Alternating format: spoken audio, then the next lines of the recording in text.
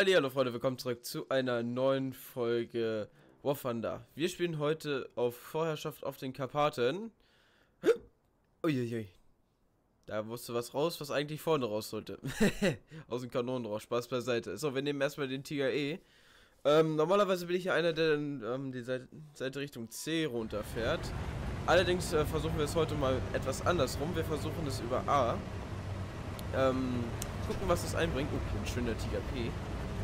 Der hatte, ja, den einen oder anderen Russen das schon zur Strecke gebracht, wie ich das richtig sehe.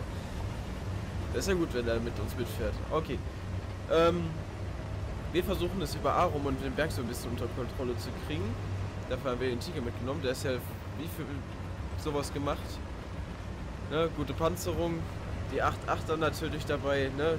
Geschwindigkeit hat er auch ordentlich was zu bieten. Ich denke mal, damit sollten wir erstmal gut hinkommen. Probieren wir es aber erstmal. So.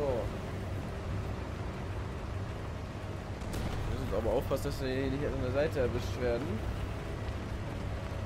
Ne? So, das kann schnell in die Hose gehen, Freunde. Vor allem, wenn du dann plötzlich so ein ähm, PT da liegen, äh, stehen irgendwo hast, ne? Das snappt dir das schon aus der Entfernung raus.